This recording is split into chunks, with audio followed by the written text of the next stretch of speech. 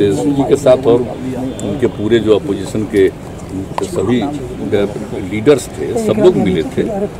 और उन लोगों ने ये बात हमने कहा कि ये बिल्कुल ठीक है प्रस्ताव। मिलना चाहिए और अन्य पार्टी के लोगों से भी हम लोग बातचीत कर लेते हैं। नमस्कार, मैं रोहित कुमार आपके साथ। आप न्यूज़ फॉर नेशन देख रहे हैं। खबर है बिहार से, जहाँ पर मुख्यमंत्री नीतीश कुमार की अगुवाई में तमाम जो दल हैं वो प्रधानमंत्री मोदी से मुलाकात करेंगे 23 अगस्त को। 23 अगस्त की तारीख प्रधानमंत्री मोदी की तरफ़ से तय कर दी गई है, सूचना दी गई है। इसके बाद सीएम नीतीश कुमार ने खुद इसकी जानकारी दी, कहा कि दिन के 11 बजे मिलने का वक्त तय किया गया है, जिसमें तमाम विपक्षी पार्टियाँ शामिल होंगी। साथ ही साथ उन्होंने कहा है कि बीजेपी के लोग भी इस प्रतिनिधिमंडल में शामिल होंगे, जो कि प्रधानमंत्री मोदी से जातिगत जनगणना की मांग रखेंगे। आपको बता दें, तमाम चीज़ों के बीच में सीएम नीतीश कुमार ने कहा है कि फाइनल लिस्ट यानी कि कौन कौन से वो लोग हैं जो जाएँगे मिलने के लिए, वो लिस्ट पीएमओ को भेजा जाएगा, जिसके बाद वो तमाम लोग 23 तारीख, यानी कि 23 अगस्त को दिन के 11 बजे प्रधानमंत्री मोदी से मुलाकात करके अपनी बात रखेंगे। आपको बता दें कि तेजस्वी यादव की पहल के बाद विपक्षी दल जो हैं, वो लामबद्ध हुए थे।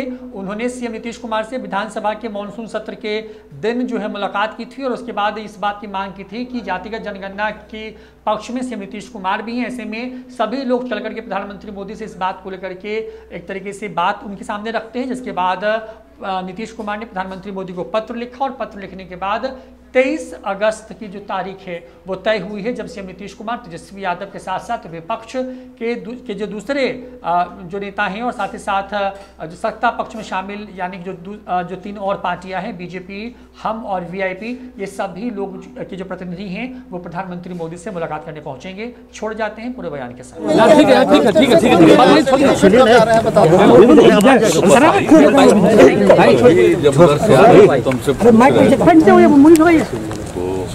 खबर कल शाम में अंतिम रूप से हो गया वो अगले सोमवार तेईस तारीख को दिन में 11 बजे उनसे मिलना है टाइम तय हो गया और मिलेंगे उसमें से पहले से ही जो हमने पत्र भेजा था उसमें मिलने के इच्छुक जो एक, एक समुदाय मिलेगा समूह मिलेगा समूह मिलेगा उनकी सूची हम दे दिए थे और फिर बीजेपी के भी लोग अभी नाम तय कर रहे हैं वो दे देंगे तो सब लोग जाकर के वहाँ पर मिलेंगे।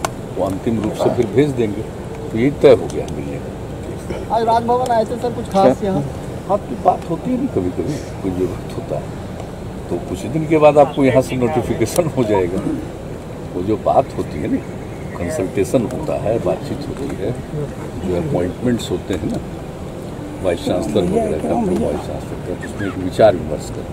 तो वही विचार विमर्श के लिए बुलाया आरजेडी में बड़ा आपस में खटास पैदा हो गया है बड़ा युद्ध छिड़ा हुआ है किसी पार्टी का इंटरनल क्या है वो उनका इशू है उसमें हमको कभी कोई इन सब विषयों पर हम न ध्यान देते हैं ना कोई प्रतिक्रिया जदुरान सिंह इतने पुराने नेता है उनको कहा जा रहा है कि उनको उनकी औकात क्या है?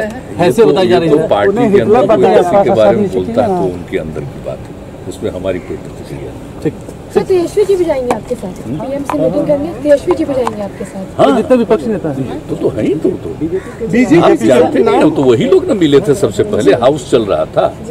तो उन्हीं लोगों ने सजेस्ट किया था ना तेजस्वी जी के साथ और उनके पूरे जो अपोजिशन के सभी लीडर्स थे सब लोग मिले थे। और उन लोगों ने ये बात कहा हमने कहा कि ये बिल्कुल ठीक है प्रस्ताव। मिलना चाहिए और अन्य पार्टी के लोगों से भी हम लोग बातचीत कर लेते हैं। तो इसको भेजेंगे और वही उसके बाद भेज दिए थे हम लोग। ये तो हुआ ही उनको जाना ही है। सूचना भी दे दी जा चुकी। है सबको जानकारी दे दी गई कि जो खबर आई है। तो कल देर रात में करीब करीब सूचना आई थी अंतिम। तो उसके बाद सब लोगों को सूचना दे दी गई बीजेपी के लोग भी रहेंगे हाँ भाई बिल्कुल आज भी बात हुई है तो अभी नाम देने वाले हैं। ठीक ठीक सर।